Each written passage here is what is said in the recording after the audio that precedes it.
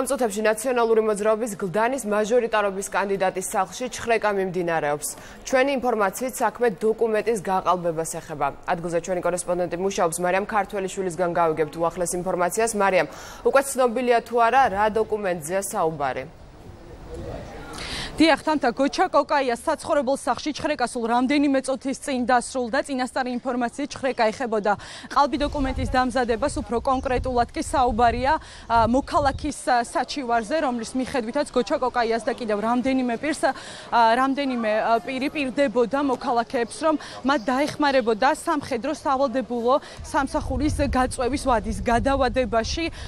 ჩვენი ინფორმაციით სამართალდამცველებს, როგორც გოჩა კოკაია ამბობს, სამართალდამცველებმა ასეთი დოკუმენტები მის საცხოვრებელ სახლში ვერ იპოვეს, თუმცა ამოიღეს მისი პირადი მობილური ტელეფონი.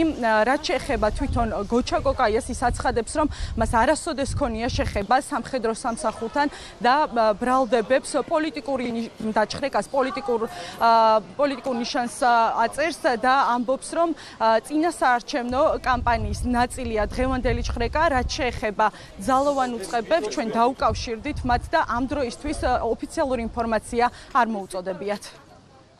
ის დოკუმენტი, რომელსაც ეძებდით კონკრეტულად, კონკრეტულად წარგენის შემდეგ დაიწყეს ჩემზე დევნა ფაქტიურად აგერ ჩანს რაც მოხდა, საერთოდ რომ არ ვიცოდი ისე სახში შემოვიდნენ, არც უთქვია და ისთვის შემოდიან, რატო შემოდიან, განჩინება არ წარმოდგენია, არ წარმოდგენია რის საფუძველზე აკეთებენ, უბრალოდ მაჩვენეს ის რომ ჩხეთის უფლება ჰქონდათ რომ ჩაიტარებიათ, მაგრამ ჩაატარეს მართლა არანაირი ის არ ყოფილა ყველა რა რო ჩაატარეს ვერაფერი ვერ ციფრობს. რაღაცა ქაღალდს რაღაც საბუთს ეძებდნენ რა ვერ ვერ გეტყვით ვერაფერს იმიტომ რომ თვითონ აი საქმის კუშიც არ არიან რა.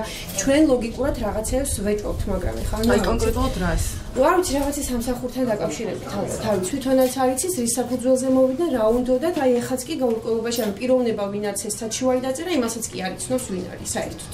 ჩატარდა ჩხეკა და რეალურად არაფერი დოკუმენტაცია არ იქნა ნანახი როგორც იქნებოდა, იმიტომ რომ გოჩასთან მქონდა საუბარი და არც არაფერი მაგასთან შეხება არ ქონია არც პირდაპირ და არც ირიბი.